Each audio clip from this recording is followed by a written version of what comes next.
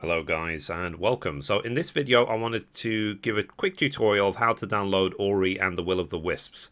So Ori and the Will of the Wisps, it was released today, 11th of March 2020.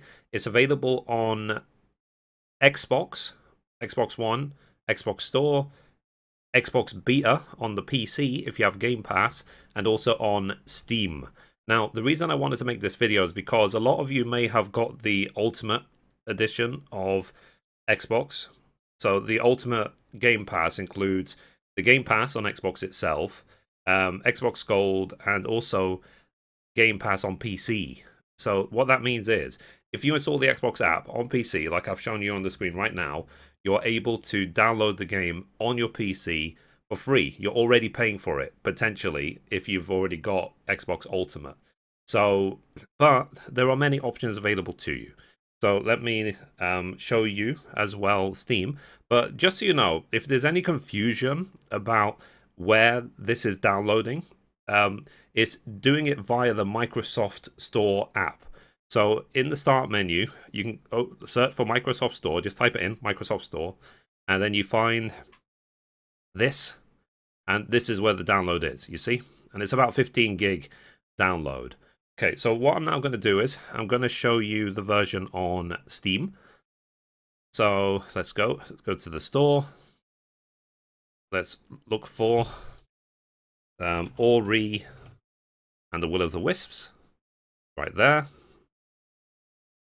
So as you can see, there's the Steam version available to you. And the last step of this video, I'm going to show you how it looks on Xbox. So once we're on the Xbox, we will continue. Okay, so we're now on the Xbox One store. Um, oh, for those asking yesterday, you see Call of Duty Warzone is listed separately. Now that is fully available.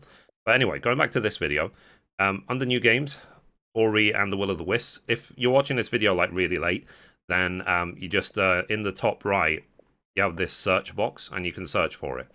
So Simply click on it, or press A on the controller. It will load up. And then, um, as you can see, it's detected the fact that I've already got Game Pass. So you can literally just install it straight away. You don't have to buy it separately. So, but if you don't have Game Pass, then here is the option to buy it to own. In the UK, it's twenty five ninety nine.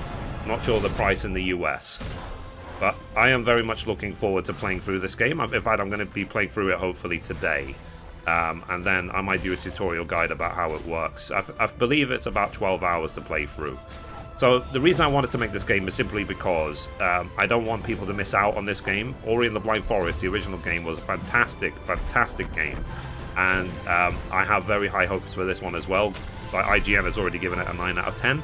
Very, like, very favorable reviews coming in. So, yeah. So, guys, please check out Ori and the Will of the Wisps. Play it with Xbox Game Pass. And play it with Xbox Game Pass. How about that? So, yep. So, anyway, guys, that's it for this video. If you liked it, be sure to give it a thumbs up. You can watch a random video over there. You can watch the latest upload down there.